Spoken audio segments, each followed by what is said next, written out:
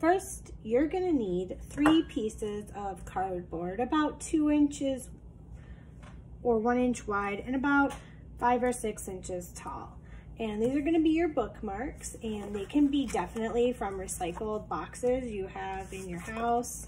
This one was from a cracker box, but a macaroni and cheese box would work or box that held rice. Even junk mail that has kind of a sturdier texture to it will work great for these bookmarks. If you have them and you like this look, you could definitely put that, glue them back to back and trim them so they're both the same size and put a hole and then you could decorate this color um, of the blank or you can wrap them in paper. I'm just using my Kenosha News sampler here and I'm going to wrap my my different cardboard pieces making sure I get a nice coat of my glue stick all the way around. Remember, if you don't have glue, that can't, that doesn't have to stop you. You could just do the other side. And we're just gonna wrap this one, oh, make sure you can see it here, in the newspaper paper. Give it a new look. If you have any um, wrapping paper from home or maybe those bags that gifts come in, you could turn that into bookmark paper too. So I'm just gonna, artists for a very long time have had to be resourceful. Even some of the first artists that painted on cave used caves used burnt sticks and water to make their first types of paints. So um, you don't gotta let supplies get in the way of you expressing yourself. So now you have kind of a pretty cool bookmark already. It looks like part of a book. Now you can decide to decorate it with pictures that you find from a magazine or from the newspaper even. And then you can make a positive message about living and making healthy choices in these stressful times. And we want to encourage the people around us and ourselves to live, make healthy choices and live a healthy lifestyle so that way we can handle stress when it comes our way. That's the whole point of these bookmarks. We're gonna make one to remind us and then we're gonna give two away.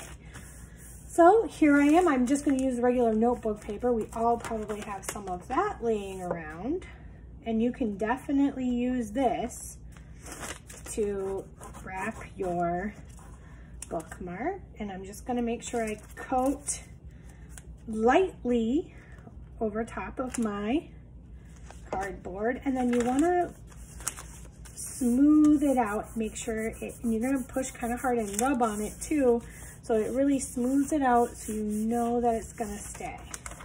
And then you take that last part and you fold it over here. You can kind of see some of my box shining through there but go like that. And then there maybe you could talk about um, with this one, maybe you could talk about reading or studying to reduce stress, you know, plan lots of time for studying for a test so you don't stress out, or just making some other kind of good healthy choices. Um, you could write a message here, a positive message, put stickers for your bookmark. And then here, I'm gonna take some more of my recycled materials that I have. This is an old calendar that I use to test crayon colors. And I just drew the letter M over and over again. And I'm just gonna put some glue on the paper, put some glue on my cardboard, put it face down, and I can cut the edges. Notice how I just sandwich folded them so then you have one less edge that you have to worry about. And then you just want to smooth it down. And then you can trim them up so they're all even later. So that is how to make your base. Last step is if you have one of these, you can, this is a hole puncher, you can stick your bookmark in here and punch a hole, but you don't have to make a hole because not all bookmarks have holes where they have little strings coming off of them. But if you have one of these, that would make a nice touch. Is in the top of these, poke a hole. so there's your base. And then you're, we're gonna talk about customizing the message for your three bookmarks and deciding which one you're gonna keep and which one you're gonna give away.